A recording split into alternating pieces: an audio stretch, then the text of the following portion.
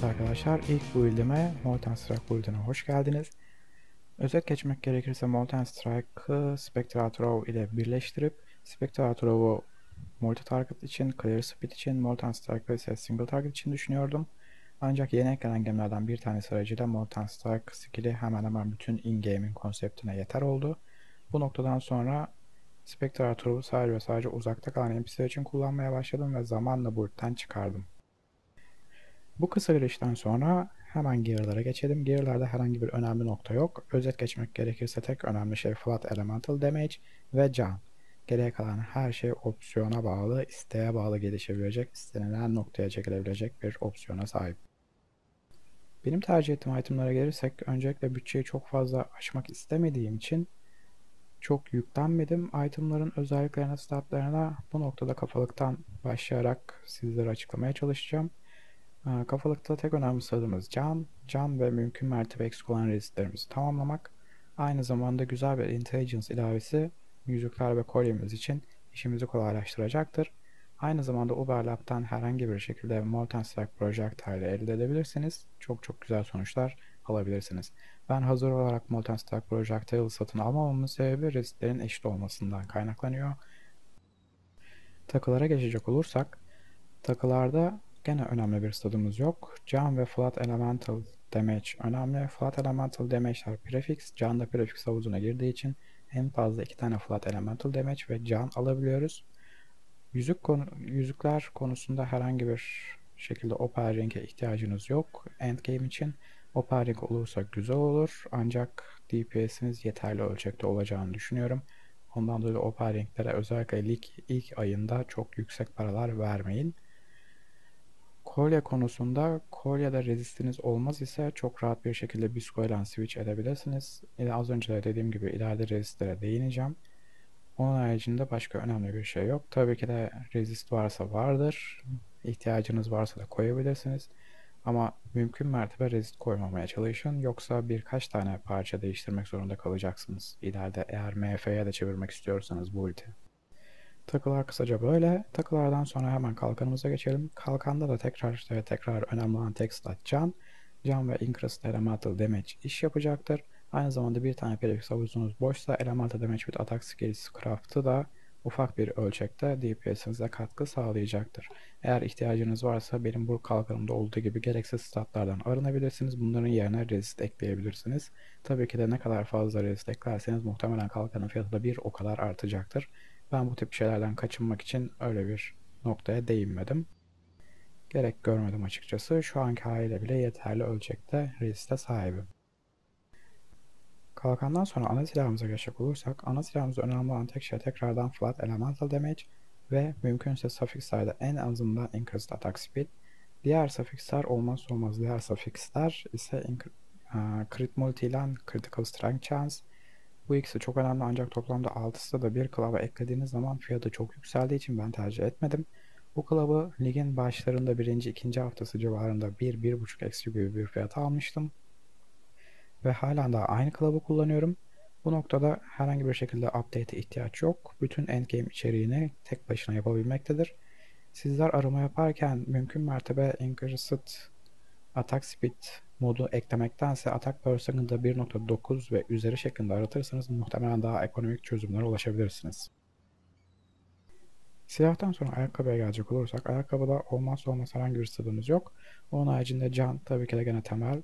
Modumuz ekstradan maksimum can olabildiğince yüksek bir şekilde bulmaya çalışalım ve ihtiyacımız olan resistleri de gene ayakkabı slotundan temin edebiliriz. Onun haricinde eğer prefix havuzumuzda boşluk varsa Increased Elemental Damage with Attack Skills güzel bir mod. Craft ile eklenebilir. Sonuçta çok büyük bir masrafı yok. Uber yapmaya başladığınızda ise ilk başta ayakkabı ve kafalığa farmlarken ayakkabıda flat elemental damage if you have been hit recent diye denk getirebilirseniz işinizi çok kolaylaştıracaktır.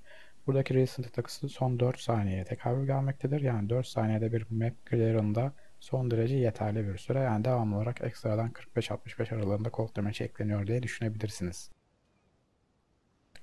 Ayakkabıdan sonra 50'ye geçelim. Bu 50'ye değinmeden önce standart 50'miz Thunderfit'e değinmek istiyorum. Thunderfit ST'yi kullanacağımız zaman çok önem kazanıyor. Çünkü ST normalde 4 link kullanıyoruz. Thunder Fits ile 5 link oluyor. Ekstradan da bir 100 Lightning Damage güzel bir ilave. Bununla beraber Attack Speed'in gelmesi de hoş bir bonus. Thunder Fits haricinde diğer elimize geçecek olursak herhangi bir şekilde özel bir elle ihtiyacınız yok. Rare ellik de olur, unique ellik de olur. Olabildiğince ofansif bir ellik bulmaya çalışalım. Üzerinde olmazsa olmaz modlarımız uh, Increased Maximum Life ve hatta To Maximum Life yani Flat Maximum Life ve Attack Speed. Eğer Rare ellikleri tercih ederseniz tekrardan Resist ihtiyacınızı oradan da karşılayabilirsiniz. Elikten sonra kemere değinmek gerekirse bu kemerleri artık oyunda bulabileceğiz. Abyss Ligi'nin özelliği o yer çatlakları ve sonradan açılan Abyss derinlikleri oyuna tamamen eklenmiş durumda. Tekrar ve tekrar haritalarda spam olmaya devam edecek. Aynen şu an branchlerin spam olmaya devam ettiği gibi %10 olasılıkla bir Abyss'e denk geleceğiz.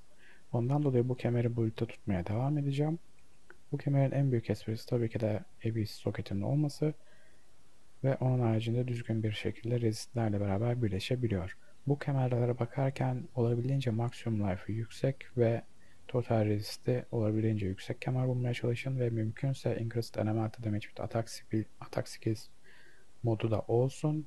Sizler craft'tan %22'ye kadar ekleyebiliyorsunuz. Ancak mod olarak eklendiğinde %48, 49, 50'ye kadar çıkabiliyor galiba. Ama tabii ki de hem maksimum life hem increased elemental damage hem de düzgün bir resist kaslarıyla kemer bulmak zaten zor. İleride daha da zor olacaktır. Ondan dolayı olabildiğince maksimum life ve birkaç resist olsa yeterli. Prefix havuzunda bir boşluk var ise zaten sizler craft'la increased elemental damage with attack skills ekleyebilirsiniz rahatça. Göğüsler kısaca değinmek gerekirse 6 link beli önemli bu build için. Ancak 5 link de son derece yeterli. Özellikle endgame için de yeterli. Zaten yayınlardan da bildiğiniz üzere ben zaten item rarity support ile dolaşıyorum genelde. Bunu da zaten 5 link olarak da hesap edebilirsiniz. Sonuçta Elemental Flux'u çıkartıp Rarity takıyorum ve 5 link belli de yeterli bir ölçek sağladığını kanıtlamış oluyorum bu şekilde. Belli neden önemli derseniz Increased Maximum Life çok güzel bir yüzde de %40 çok güzel bir rakam. Aynı zamanda %10 Elemental Resist olması da ekstradan bir bonus. Bu göğüslük haricinde Rare göğüslük de kullanabilirsiniz. Özellikle lig başlarında tabula rasa da iş yapacaktır. Altı link olmasından ötürü. Onun haricinde tabula rasadan sonra eğer belli alacak bütçeniz yoksa Rare bir 6 link veya 5 link göğüslük güzel bir cam ve resist desteğiyle beraber işinizi görecektir. Görmesi gerekiyor. Ancak ekonominizi düzelttiğinizde bir beli almanızda fayda var. Hem oyunda ekstra gorille değişik bir efekt katıyor. Aynı zamanda da Increased Maximum'lar çok çok güzel bir bonus. Gelelim gemliklerimize ve gemlerimize. Gemliklerinde ve gemlerimizde çok çok çok önemli bir durum söz konusu değil. Standard olarak Summon Ice Golem kullanıyoruz. Increased Critical Strike Chance için. Ancak Lightning Golem'de kullanabilirsiniz. Increased Attack Speed için. Sizlerin tercihine kalmış. Ben Golem'i Life Support ve Resist ile destekliyorum. Çünkü bu soketlere şu anda ihtiyacım yok. Ondan dolayı destek bir şekilde duruyorlar. Golemimizden sonra diğer önemli olan noktaya değinmek gerekirse dörtlü olarak kullanmamız gereken Cast Damage Taken, Immortal Call, Increased Duration Support ve Val Hest. Wallace çok güzel bir ofansif buff sağlarken defansif anlamda Immortal Call ve Cast Fan Damage bize son derece yeterli geliyor. Increased Duration ile de Val Hest ve Immortal Call'ın sürelerini arttırıyoruz. Genel olarak savunma ve ofansif anlamda yeterli bir Gemlink'i.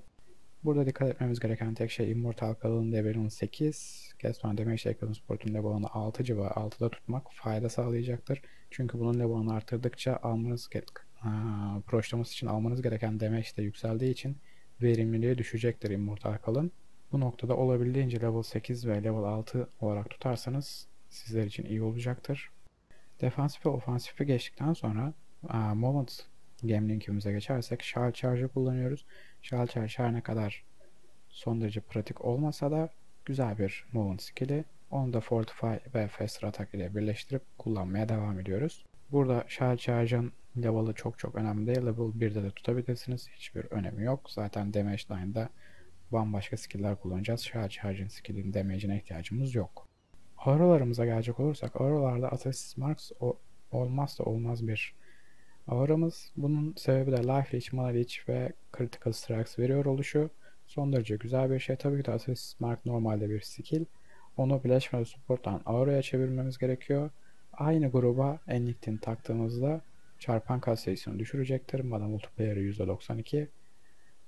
Onunla beraber Anger veyahut da diğer başka ofansif bir aura kullanabilirsiniz. Bu tamamen sizin ihtiyacınıza kalmış bir şey.